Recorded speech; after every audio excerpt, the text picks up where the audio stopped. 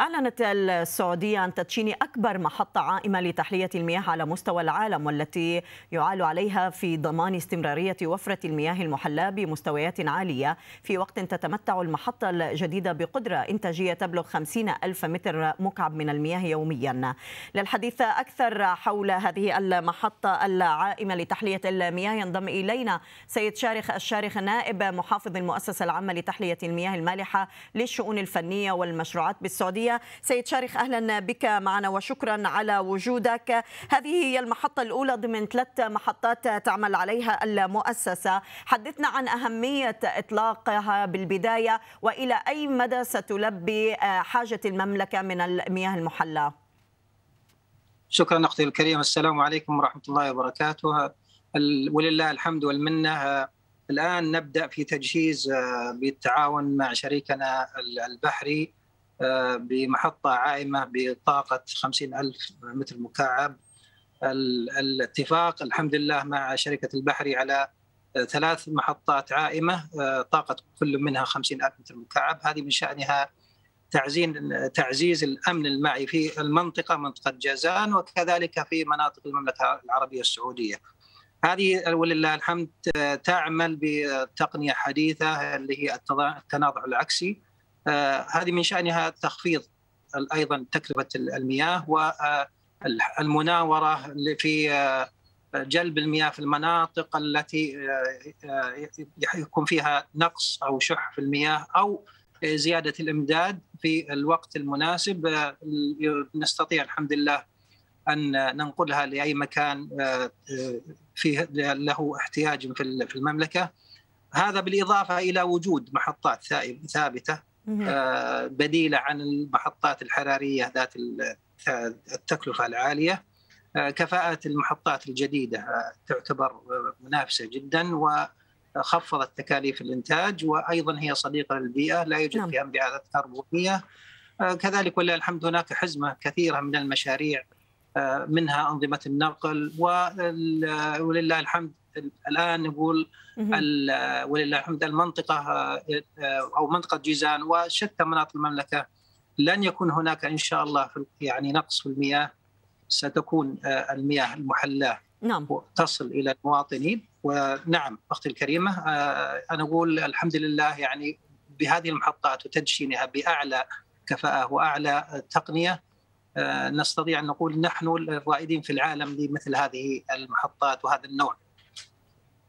هذا بالإضافة إلى ما يصاحبها من أنظمة نقل ومحطات ثابتة.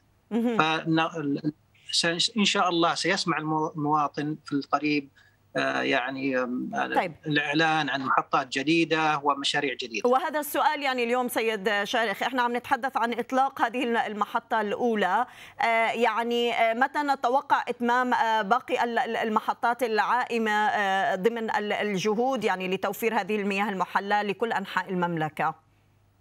نعم هذه الآن هي السلسله من المحطات اللي إن شاء الله تنوي المؤسسة العامة لتحليه المياه المالحة في ظل قيادة خادم الحرمين الشريفين وسمو ولي عهد الأمين ومعالي الوزير الفضلي ومحافظ المؤسسة العامة لتحليه المياه المالحة أن يكون هناك تعدد المصادر. ومنها هذا النوع من هذه المحطات العائمة.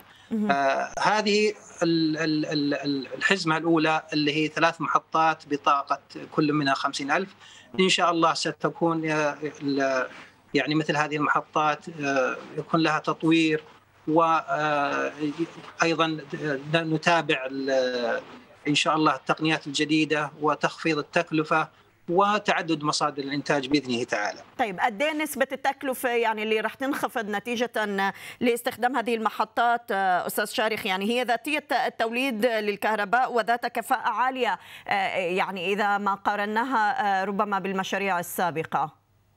نعم أنا أنا ممكن أقول يعني بشكل عام إن تقنية الآر أو سواء على المحطات العائمة أو غيرها مقارنه مقارنة بالأنظمة القديمة الحرارية ستكون أقل تكلفة بما يعادل أقل من 70% للسيفنج أو لتخفيض تكلفة الإنتاج.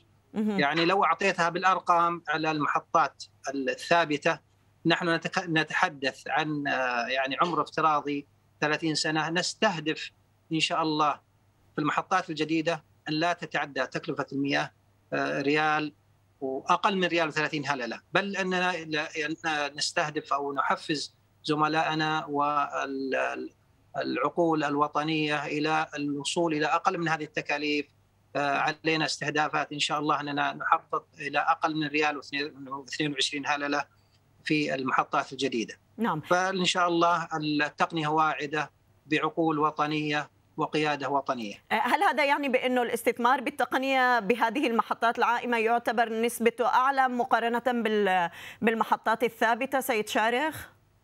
لا لا لا المحطات العائمة هي نوع من توفير مصادر المياه وسرعة المناورة ونقلها بوقت قصير. أما المحطات الثابتة هي المصدر الأساسي هذه فقط لسد احتياج المياه في المناطق التي يكون فيها عجز أو زيادة طلب زيادة امداد. نعم، أما المصادر الرئيسية نعم. فهي فهي المحطات الثابتة. نعم، قد إيه راح يكون في توسع بحجم المحطات الثابتة لعام 2022 بالنسبة حسب للمملكة؟ حسب ال...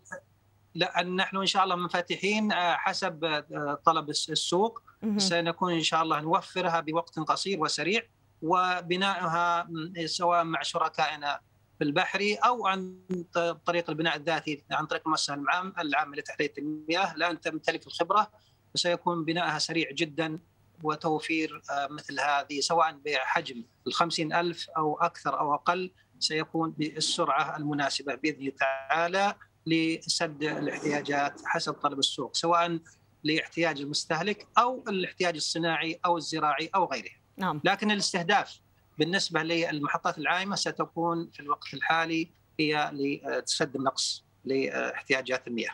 نشكرك سيد شارخ الشارخ نائب محافظ المؤسسة العامة لتحلية المياه المالحة للشؤون الفنية والمشروعات بالسعودية. شكرا جزيلا لك.